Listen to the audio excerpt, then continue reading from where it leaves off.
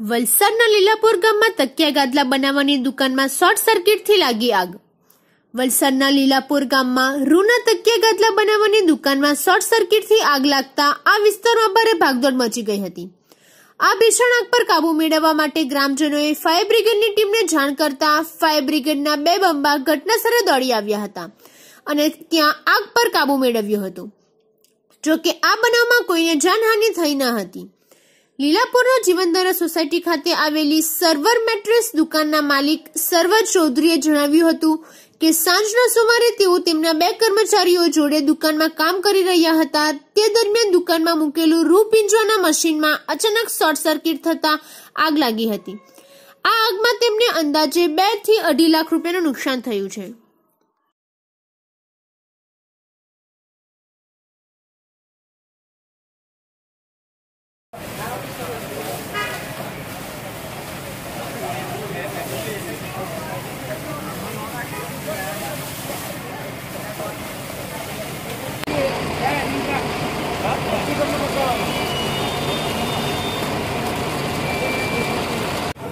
मेरा नाम सरवर है और मैं गादले का धंधा करता हूँ। मेरी दुकान का नाम सरवर मेट्रेस है।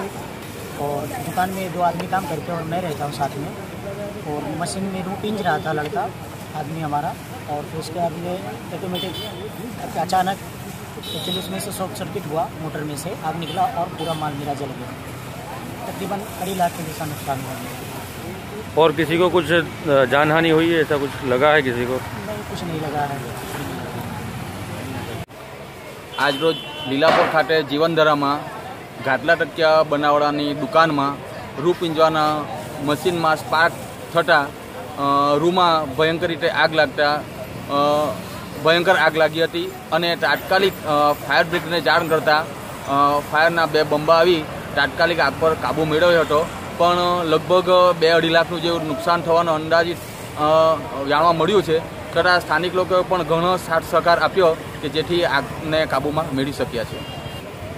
જાનહાનિની તો કોઈ વાત નથી, મળી જાનહાનિ થઈ નથી, પણ ફાયર બ્રિગેડના બે બંબા આવ્યા અને તાત્કાલિક આગ પર કાબૂ મેળવી છે.